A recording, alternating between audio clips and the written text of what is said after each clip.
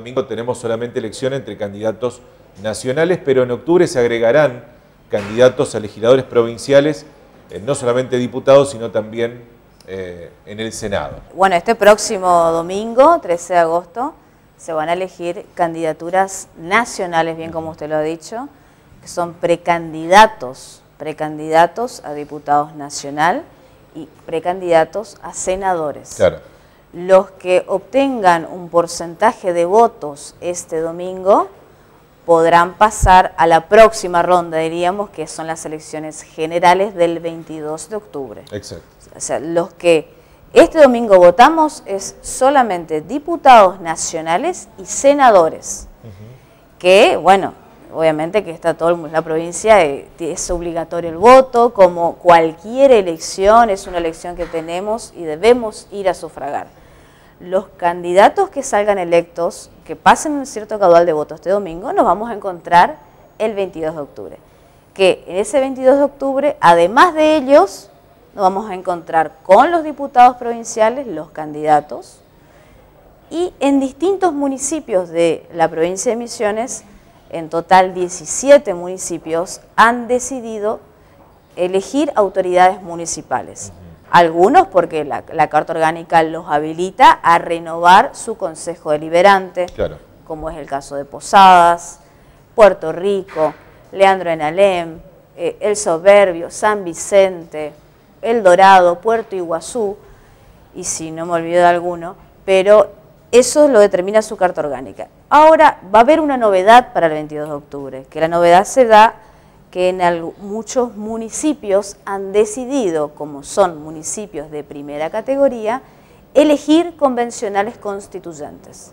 Estos convencionales constituyentes justamente van a ser los que van a redactar la carta orgánica en los municipios que así lo hacen. Claro.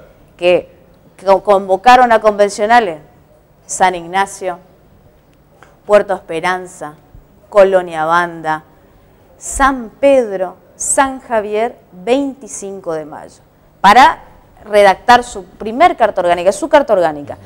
El Dorado, no, para, para redactar. El Dorado los convoca también, convocó a convencionales, pero en este caso para modificar, porque ellos ya tienen una carta orgánica. Y va a haber un cargo municipal del Ejecutivo, que es Arroyo del Medio, Arroyo del Medio se elige intendente. Y un defensor del pueblo, que hay, que hay, un interventor en Arroyo, del, Arroyo del Medio. tiene un interventor. Porque fue destituido su intendente. Sí, por disposición legal y bajo los procedimientos legales y constitucionales determinados. El interventor, que es el, el, órgano ejecutivo que en este momento está en el municipio, ha convocado a elección de intendente conforme lo determina y lo precisa la ley. Claro. Entonces elige intendente en Arroyo del Medio. Y Oberá prevé que eh, ellos tienen carta orgánica, pero determina que los, los concejales se renuevan la totalidad cada cuatro años, o sea que no elige este año concejales, pero sí prevé que se elija defensor del pueblo. Entonces Oberá elige defensor del pueblo. O sea, hay, un, hay una dinámica tanto en cargos municipales, provinciales y nacionales para el 22 de octubre. Este domingo solamente cargos nacionales precandidatos a diputados nacionales y senadores. Que ya los hemos entrevistado a todos, Gisela, en este tiempo y ya la gente conoce al menos sus nombres, sus propuestas. Después, eh, claro, en estos días de reflexión sabrá quién votar o no. Pero ese día, cuando eh, le toque especialmente una tarea muy grande a ustedes como representación eh, misionera de, de, la Secretaría Electoral, entonces vamos a tener municipios que van a tener que elegir entre legisladores nacionales, diputados provinciales, en algunos casos concejales, en otros casos además de concejales convencionales, como es el Dorado. Y en otros casos también intendente. Intendente. Y otros solo convencionales. Y en otros solo convencionales. O sea que eh, nosotros, como el gobernador y, a su vez cada municipio ha convocado en forma simultánea con las elecciones nacionales, por eso que sufragamos todos los cargos sufragan al 22 de octubre. Entonces, el hecho de trabajar, de ir en simultaneidad con Nación, tanto el Tribunal Electoral Provincial, de quien soy secretaria, y el Juzgado Federal con competencia electoral, cual el secretario es el doctor Boneto, trabajamos en forma mancomunada, trabajamos en, coordinación, porque todo lo que tenga que ver, tanto en la órbita municipal y provincial, frentes, partidos, candidatos, listas, los aprueba el Tribunal Provincial. Claro. Ahora, las boletas de eso los aprueba el Juzgado Federal. Entonces, ahí eso es el trabajo en conjunto que tenemos que trabaja, por supuesto, se trabaja en forma coordinada y por supuesto. De cara a lo que se viene después de este domingo, ya en breve arrancará la otra campaña, ¿no? Eh, esa que va a incluir a más, eh, a más protagonistas, porque habrá más candidatos. ¿Cuántos frentes ya hay inscritos? ¿Hay ya inscritos para esa elección? Hay inscritos, sí. El pasado 3 de agosto venció la inscripción de frentes y partidos que participan en elección. Se inscribieron seis frentes electorales provinciales, de los cuales no los voy a denominar.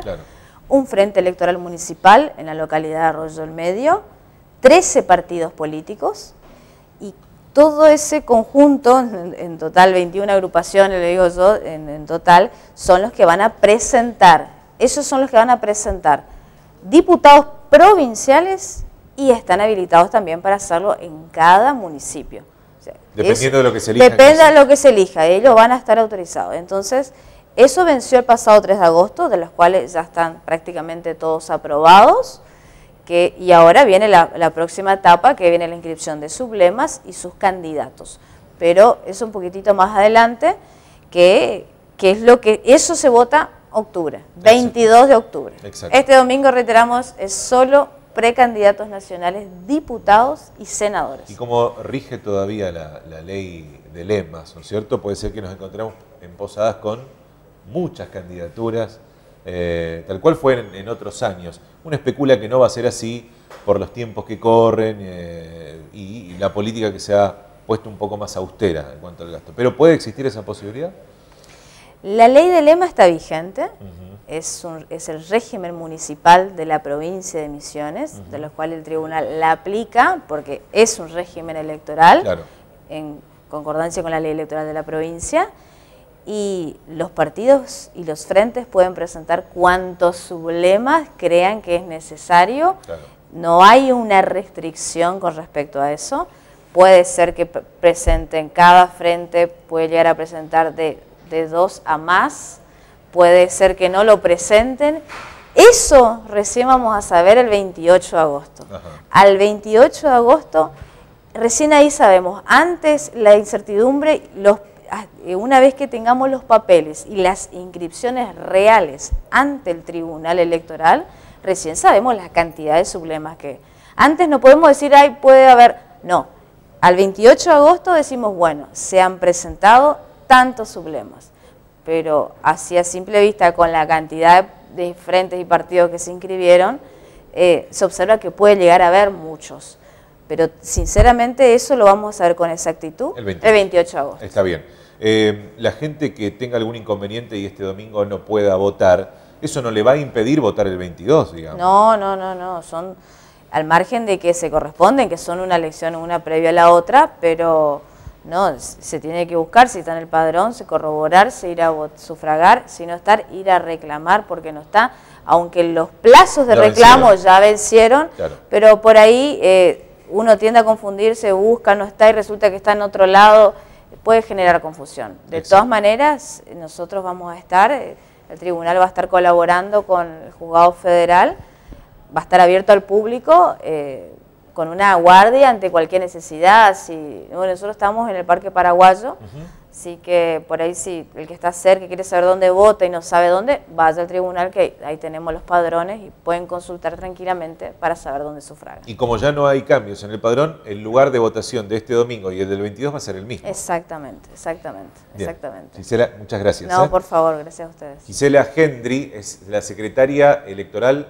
de la provincia de Misiones. Hoy me quedaba una cuestión por preguntarle, ya de cara al, 22, ¿no? Sí. En la competencia que tendrán eh, ustedes. En, elecciones anteriores hubo eh, pruebas de voto electrónico. ¿Vamos a tenerlas en las del 22? No, no le diría prueba, porque ya no es una prueba, ya es, un, ya es algo concreto, ya se aplica, se implementa. El Tribunal Electoral, ya cuando se modifica la ley en el 2013, ha ideado, desarrollado y creado un sistema de votación electrónica que lo denominamos voto codificado misiones.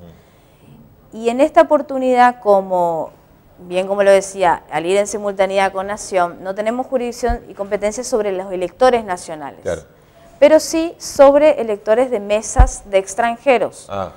Aclaremos, los electores de mesas extranjeros son aquellos electores que están empadronados en el Tribunal Electoral y que sufragan exclusivamente a cargos municipales, no votan ni diputado provincial, ni diputado, nada. Solamente cargos municipales. Concejal, intendente. Concejal, o intendente o convencional, en esta oportunidad. Entonces, en aquellos municipios que se elijan estos cargos municipales, el tribunal, eh, en algunos, no en todos, va a implementar el sistema de VOCOMIO, voto codificado misiones. Entonces, como ya lo hicimos también en el 2015, y se, los electores de esa mesa van a sufragar electrónicamente. ¿Van a tener alguna persona que los asesore? Sí, no, eso es todo a cargo del tribunal. Nosotros, el personal, el grupo, eh, nos, movemos eh, de, a los puntos de la provincia donde, donde se van a instalar, obviamente con nuestra asistencia técnica, con nuestra asistencia en personal en capacitar. Nosotros en este proceso, desde que arrancamos eh, antes de julio y durante hasta, hasta esta semana, estuvimos recorriendo ya cada uno de los municipios donde vamos a estar y eh, no solamente haciendo capacitación a esos electores extranjeros, sino también renovando sus datos, actualizando, renovando su carnet, empadronando nuevos electores. Reiteramos que votan solo cargos municipales y cuyo registro electoral lo lleva el Tribunal Electoral de la provincia. Exacto.